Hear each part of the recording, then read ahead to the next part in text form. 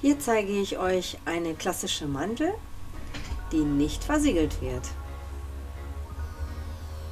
Die Naturnagelvorbereitung arbeite ich natürlich wie immer. Es gibt auch eigentlich mittlerweile äh, mehrere separate Videos, die ihr euch anschauen könnt, wo ich den Naturnagel ganz explizit vorbereite. Ich habe jetzt hier den Nail Force One aufgetragen und jetzt wird die Schablone angesetzt. Das heißt, erstmal setze ich sie quasi trocken an, so dass ich sehen kann, wie ich einschneiden muss. Mein Modell hat ein besonders ausgeprägtes Hyponychium. Das bedeutet, dass ich natürlich die Rundung der Schablone dem Naturnagel anpassen muss. Und deswegen schneide ich den ersten Bogen schon mal weg. Dann schaue ich mir genau an, wie die Seiten von dem Naturnagel quasi mit der Schablone überein, also so in eins übergehen. Und jetzt möchte ich gerne Bananen schneiden. Also ich sage immer, dass das so, das sieht aus wie Bananen. Da wird rechts und links genau an der Stelle, wo die Schablone mit dem Falz, mit dem Nagelfalz abschließt, ein Schnitt mit einer leichten Neigung nach unten gemacht. Also ihr dürft den nicht zu quer machen und ihr dürft ihn vor allen Dingen nicht zu längs nach vorne schneiden. Dann habt ihr keine Möglichkeit mehr, die Schablone an den Seiten, an den Flügeln wegzuknicken. So, dann öffne ich die Schablone und setze sie eigentlich ja nicht so ganz wie ein Stiletto an, aber auch nicht ähm, richtig also auf gar keinen Fall wie ein Square, sondern etwas tiefer. Eigentlich ist das Ende der Schablone fast ähm, ja, oder zwischen Wall und Seitenlinie. Ne, wenn man jetzt so von der Seite schaut, dann kann man eigentlich sehen, die Seitenlinie und die gedachte Linie vom Nagelwall und genau dazwischen sollte das Ende sein. Also ich mag die klassischen Mandeln nicht, die genau auf Basislinie sind. Ich finde, die wirken immer extrem krallig. Das kann man bei einer Kundin machen, die sowieso sehr krallige Naturnägel hat. Da passt das mit der klassischen Mandel eigentlich super mit, mit der Basislinie. Aber wenn ich jetzt eine Neumodellage mache und sowieso einen schönen Naturnagel habe, dann setze ich die Schablone immer ein bisschen höher. So, jetzt kann ich nochmal mit der Holzpfeile kontrollieren, ob ich genau gerade bin.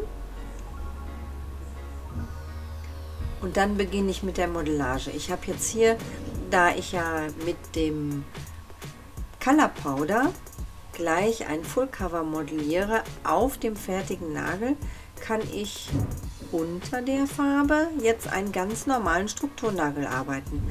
Und ich habe hier das äh, Gentle Pink wie immer genommen und das Sweet Pink. Es ist eigentlich egal, was ihr nehmt. Ihr könnt auch ein Clear oder ein normales Pink nehmen. Aber ich habe jetzt einfach das Sweet Pink genommen und einmal ins Gentle Pink getaucht. Wie gesagt, Color Powder äh, bzw. Cover Powder sollten nie direkt auf den Naturnagel aufgetragen werden, weil die Farbpigmente immer ein bisschen mehr Haftungsschwierigkeiten haben als Basispowder. Deswegen nehme ich immer ein Basispowder drunter. Und dann wird das erste Bällchen gesetzt und ich arbeite das jetzt nicht wie eine Smileline, sondern ich ziehe mir das Bällchen quasi direkt nach vorne über den Naturnagel auf die Verlängerung, auf die Schablone.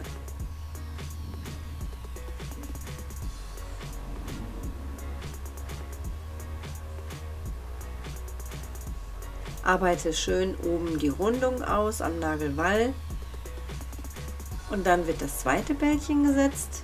Ihr könnt es revers absetzen, andersrum. Hier habe ich jetzt, jetzt ganz normal mal von vorne angesetzt. Ziehe mir so ein bisschen zu den Seiten hin. Dann wird nach oben ausgestrichen, so dass ich keine Wellen reinbekomme.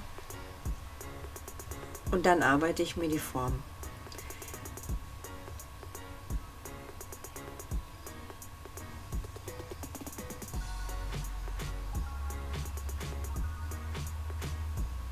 Die Struktur habe ich jetzt mit dem Liquid Fast gearbeitet. Das ist eigentlich mein ganz normales Studio Liquid, mit dem ich alle meine Modellagen arbeite.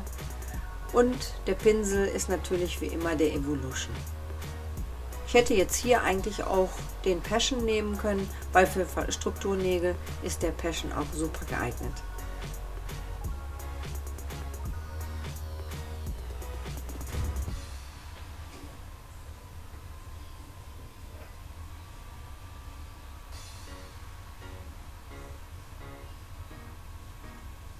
Und da meine Devise ja ist, immer so zu modellieren, als wenn mir jemand verboten hätte zu fallen, modelliere ich so lange, bis das Material sich nicht mehr bewegt und immer so, dass ich auch wirklich eigentlich nicht mehr fallen müsste. Aber ich muss natürlich fallen, wie immer. Logisch.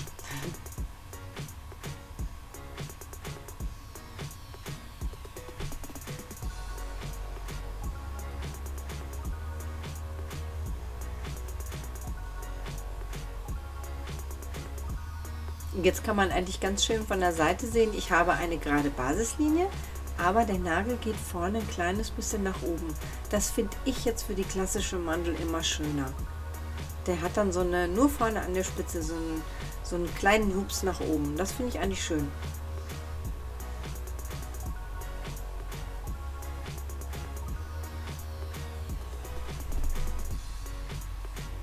Wenn noch was fehlt an der Seite, setze ich Produkt nach und immer sofort verstreichen.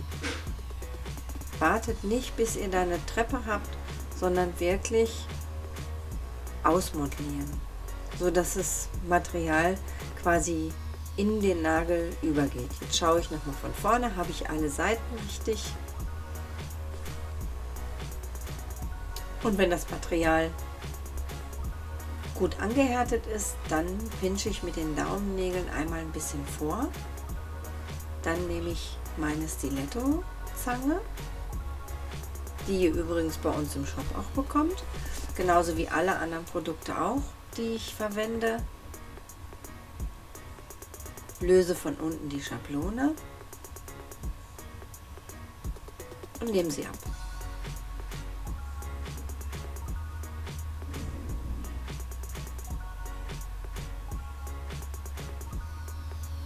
Falls sich übrigens jemand fragt, dieser kleine Finger, der da drunter ist, da habe ich auch ein separates Video zu gemacht. Das ist der Weihnachtsnagel. So, jetzt habe ich mal meine Pinch Sticks rausgeholt. Die haben wir bei uns im Shop auch. Diese Sticks sind super geeignet für Acrylnägel, um auf dem Stick, ich wollte euch hier das mal ganz genau zeigen, jetzt bei der Mandel muss ich ja einen besonders kleinen Stick nehmen, über diesem äh, Stick quasi die, die Rolle des Tunnels zu formen. Und von der anderen Seite haben sie eine Diamantspitze und damit kann man von unten Produktreste wegfräsen. Ja, oder wegfeilen halt, ne? Und wenn ich die Spitze gedrückt habe, dann setze ich meine Pinchklemme an. Jetzt ist der Nagel komplett ausgehärtet und beginne ich wie immer mit meiner Befeilung. Meine Fallschritte, Fallschritt 1, Seitenlinie auf der rechten Seite, auf der linken Seite,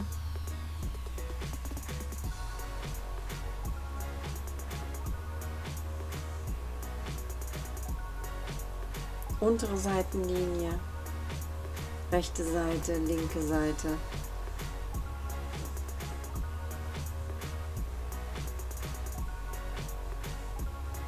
Modell zurechtrücken.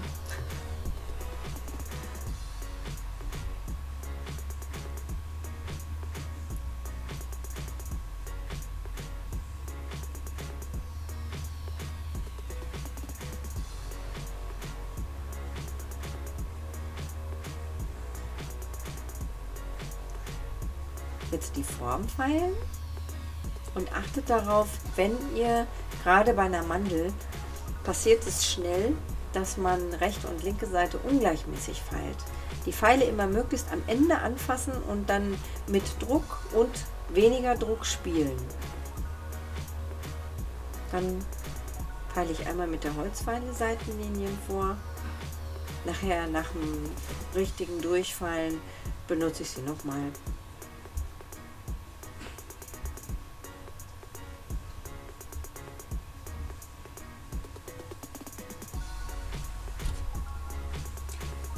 So, und vorfräsen mit dem Hartmetallfräser mit der glatten Stirnseite. Ich kann es eigentlich immer nur wiederholen, ganz ohne Druck und sehr wichtig mit dem kleinen Finger an der anderen Hand abstützen. Und eigentlich nur über die Oberfläche fliegen. Niemals Druck ausüben. Also die Kundin darf das weder spüren, noch darf man großartige Riefen oder, oder so fette Fallspuren im Nagel sehen. Ganz leicht dürft ihr nur darüber gehen. Der Fräser macht das von ganz allein.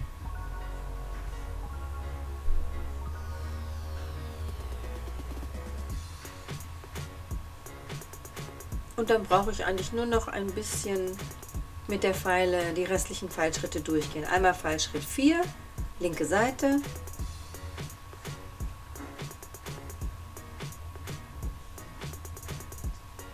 Pfeilschritt 4, rechte Seite.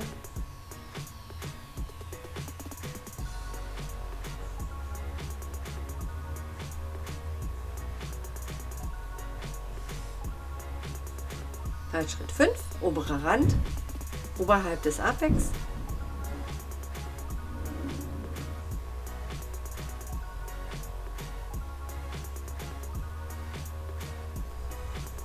Es gibt auch ein separates Fallvideo, wo ich ganz, ganz genau jeden Fallschritt erkläre, wie er funktioniert. Das könnt ihr euch gerne anschauen. Würde ich mich freuen.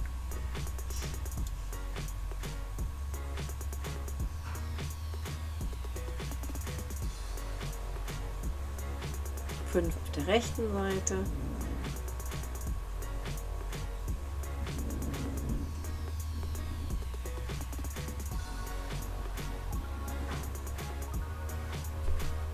Und jetzt ist so ein Übergang zwischen 4 und 5 und dann 4, 6, 4. Also eigentlich will ich die 6 feilen. Das ist exakt die Mitte vom Apex bis vorne zum Ende des Nagels und um da keine Zacken reinzumachen, sollte man immer so ein bisschen 4, 6, 4, 6, 4, 6, 4, halt so jetzt 6, 4, 6 peilen, damit man oben keine Kanten reinbekommt.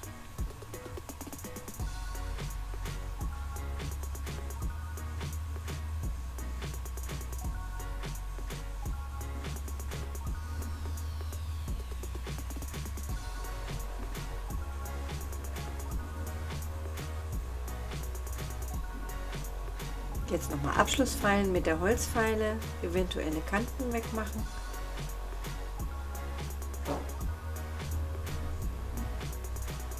Und dieselben Pfeilschritte alle nochmal mit dem Buffer. Und immer dran denken, auch der Buffer kann feilen. Also schön vorsichtig, nicht dass ihr euch das, was ihr gerade schön gefeilt habt, wieder kaputt macht.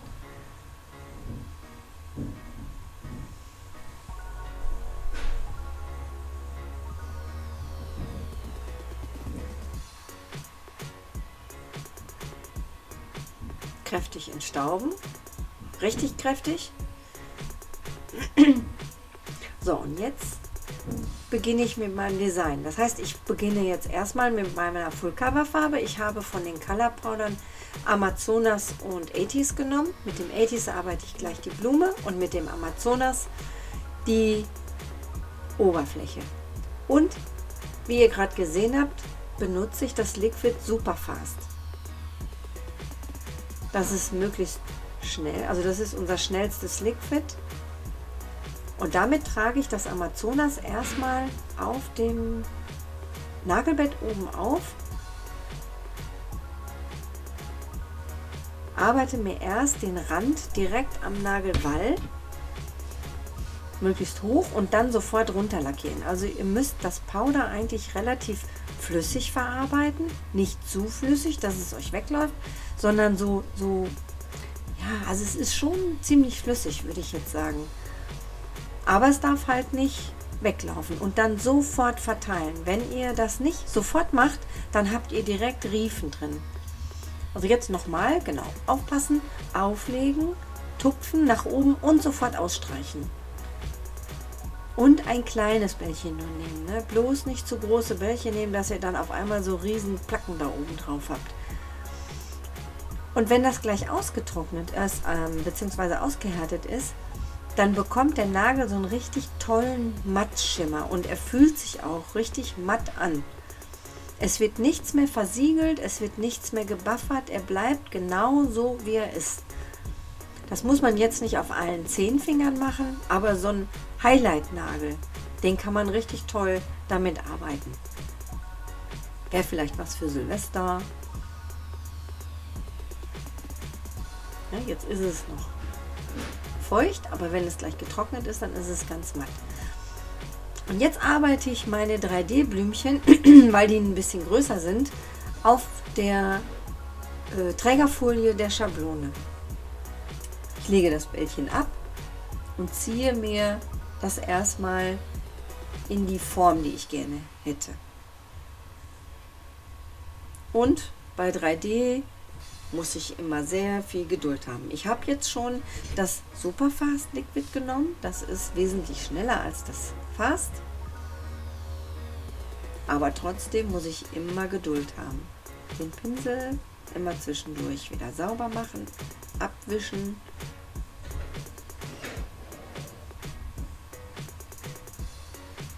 und die Form schon mal einarbeiten.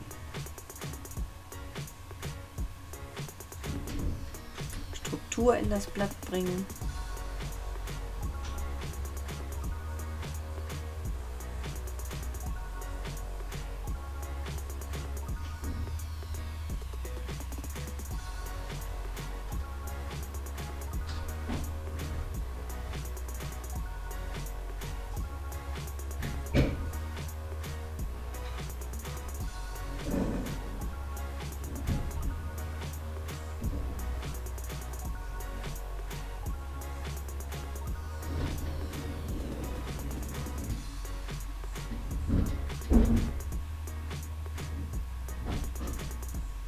Zwischendurch immer mal probieren mit dem feuchten Pinsel unter das Blatt und schauen, ob es sich schon abhebt.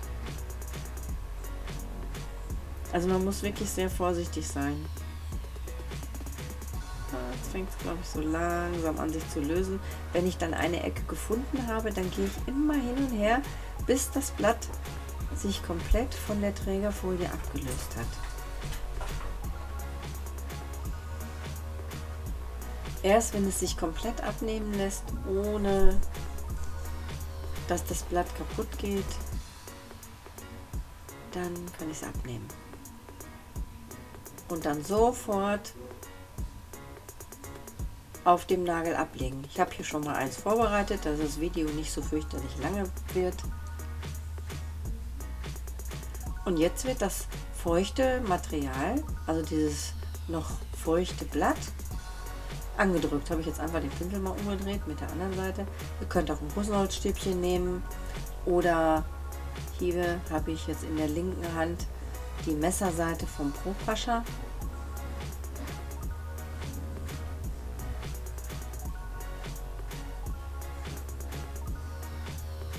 Und andrücken. Denn solange das nämlich noch so feucht ist, kann ich das andrücken und dann bleibt es drauf.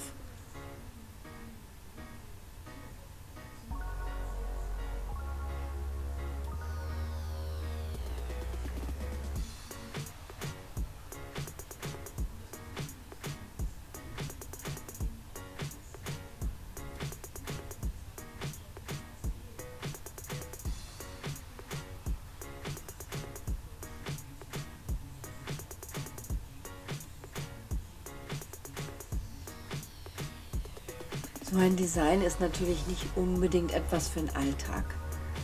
Ne, man muss aufpassen, dass man nicht an den Haaren hängen bleibt, aber es ist mal ein Highlight.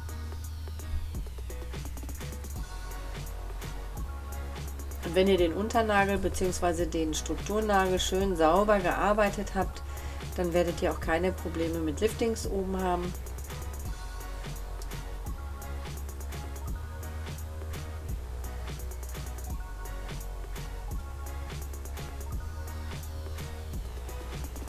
Blatt sitzt, dann klebe ich noch Steinchen auf. Ich kann ja jetzt keinen Versiegler nehmen, sondern ich muss jetzt Kleber nehmen. Also ich habe ganz normalen Nagelkleber dafür genommen und dann mit der Pinzette hier, das ist eine Splitterpinzette, die kann man super dafür verwenden. Die Steine damit aufsetzen.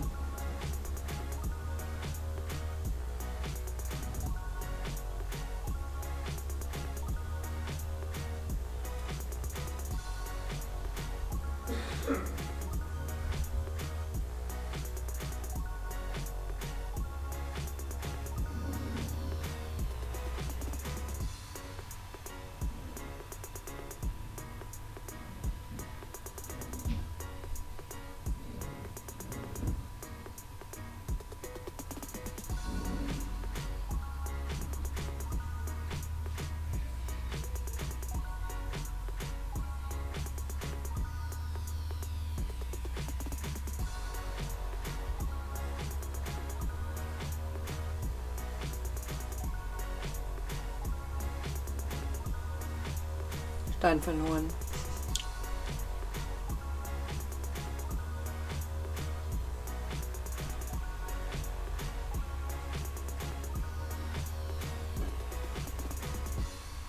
So, und nun ist das Design fertig.